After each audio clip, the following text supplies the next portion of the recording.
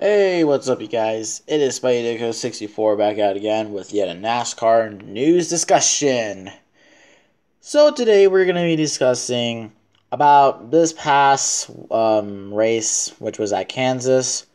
And this was the last race of the round of 12. So, four drivers will be out, and eight drivers are going to go in to the next round, basically. So, alright. Alright, guys, I'm gonna have to admit this, but I did not watch Sunday's race. Not even not even a single part of it, okay? Yeah, yes. So yeah. But what about the big wreck that happened? How did I know about that? YouTube, yeah. They upload a bunch of clips to YouTube and I figure out what happened. And I'm basically gonna be talking about that today. Damn, I wish I could have watched that race. But yes, anyways, um, so Mark Truex Jr. started on the pole. Stage one was won by Kyle Busch, and well, well, Kyle Busch he did in fact needed some playoff points because well, one, he was below the cut line because of his performance at both Talladega and um, Charlotte. It should have been Charlotte and Talladega, but uh, but yeah, obviously Kyle Busch doesn't make it, and Denny Hamlin on stage two. But yeah, we got yeah, we had to talk about but yeah, around stage three, I think, like around like lap 199, I don't know. There was a big wreck on the backstretch where Erik Jones, he basically yeah, he crashed a few cars, like Jim McMurray, who was a playoff driver. You know, you know, Daniel Suarez, a lot of those guys, but uh but yeah, pretty violent wreck. And to be honest, to be honest, even though they make and even though they make Kansas, you know, the elimination race, it's anything can happen, okay? Even though it's not Talladega, so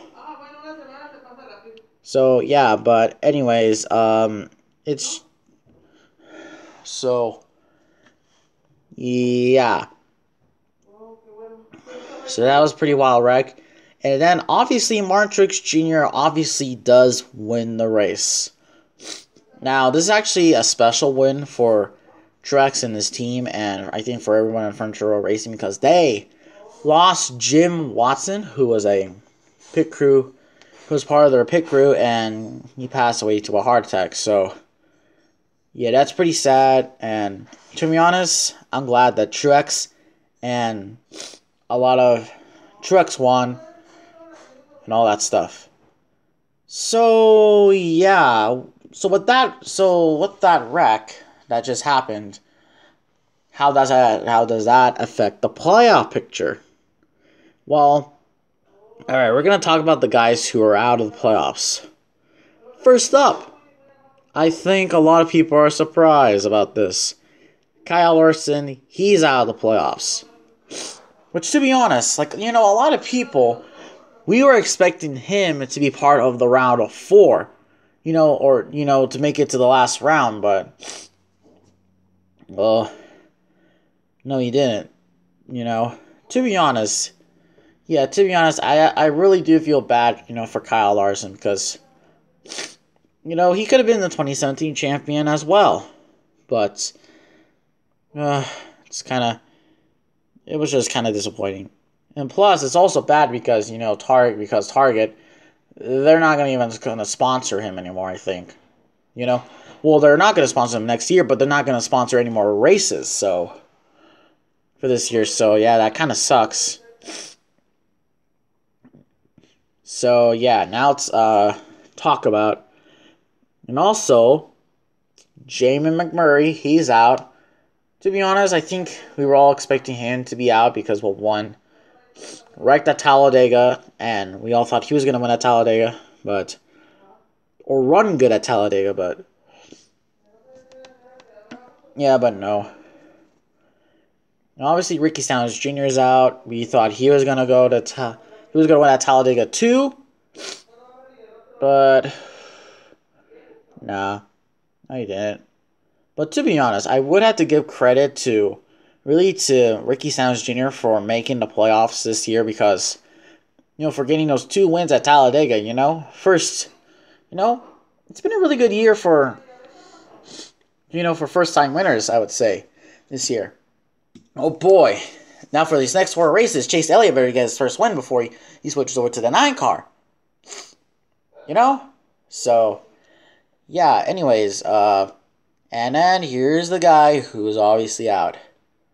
Or he got out, he was out for a really stupid, stupid reason.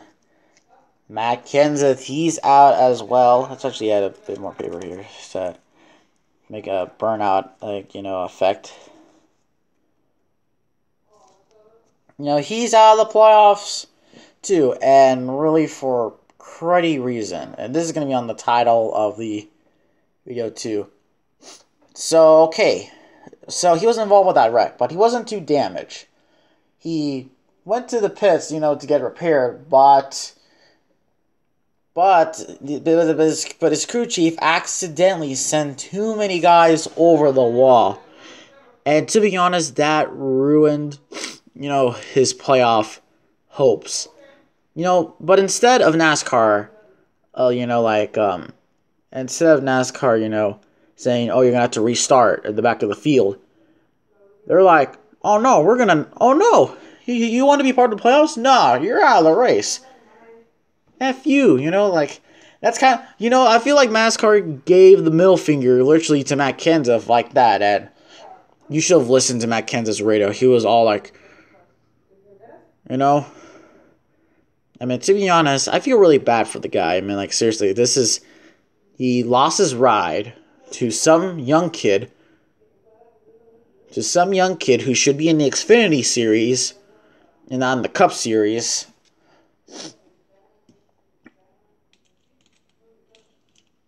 You know, but uh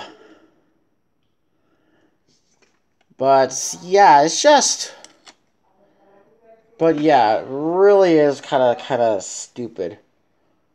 Which also proves something else. NASCAR should improve their rules.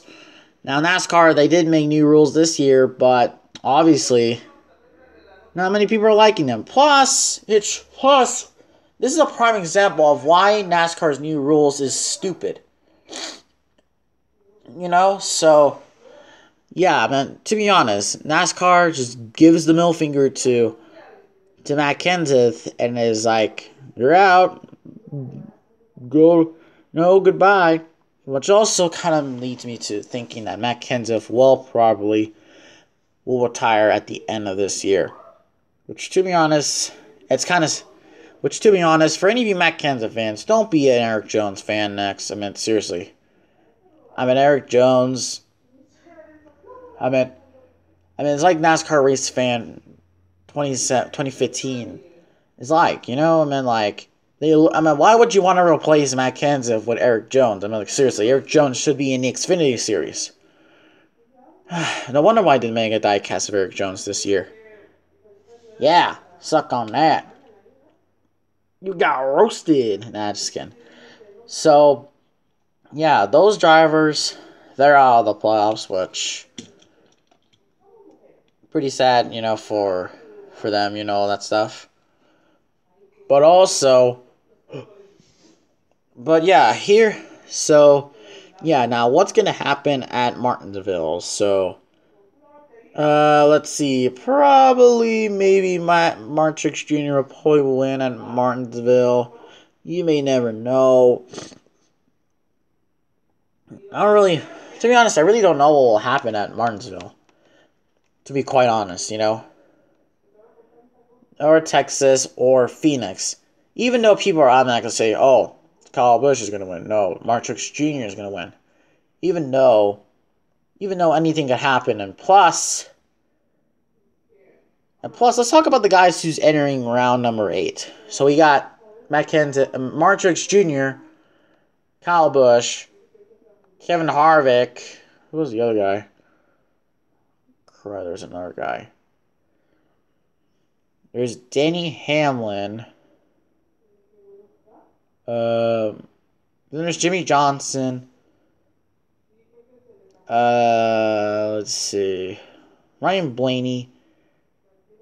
Okay, crap. Who else? Chase Elliott and and Brad Keselowski. I went out order there, but yeah, that's that's basically um what the round round um eight is looking like. So yeah. So um whoever you know.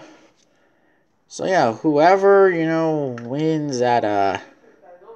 Whoever wins those three races, they're going to Homestead. So. So yeah. Now this really should be interesting considering uh. Well, we probably know that Martin Truex Jr. is probably going to be the, this year's champion. I don't know. You you may not expect. Now, well, I think. Well, now will Kyle Busch maybe win his second championship? Mm, I'm not so sure if he could. Not if he doesn't get screwed over. You know. Kevin Harvick can he win his second championship? Well, he's got to be faster and he's got to prove his talent. He has to prove his talent a little bit, a little bit more in a Ford. And then Denny Hamlin will, and then no Brad Keselowski will he get his second championship? Well, yeah, you just got to do good, Brad K. So yeah. And then there's also Jimmie Johnson. Will he win his eighth championship? Uh, I really now this may piss off a lot of Jimmie Johnson fans, but I really don't think he may. He may. I don't think so. I mean, like, I'm pretty sure a lot of Jimmie Johnson fans when they go to homes when they for the next few rounds, they're gonna root for him to be, you know, to win his eighth championship and make freaking history. But I'm not really gonna say he's gonna, but it's I don't know, it could be possible. But will a guy like Danny Hamlin, Brad, uh, Ryan Blaney, or Chase Elliott will they make it? I don't know. I'm rooting for Chase Elliott. Trying, I want Chase Elliott to win one of these races. You know, before he moves to the nine next year, which the season is almost ending. You know, at least get a win before you move on to to the nine car, really. So, yeah. So overall, guys, that is what. Um, that concludes this episode of NASCAR News Discussions. Thank you guys for watching. Sorry I have not uh, made this earlier. I just I was just lazy. Yeah, that's why. I, I was just lazy. So, yeah. Like, comment, subscribe. Tell me what do you think of, of this race and who will be the 2017 champion. MTJ or Johnson. Hmm? So, yeah, but anyways, uh, hope you guys enjoyed this video, and I will see all of you in the next video. Goodbye.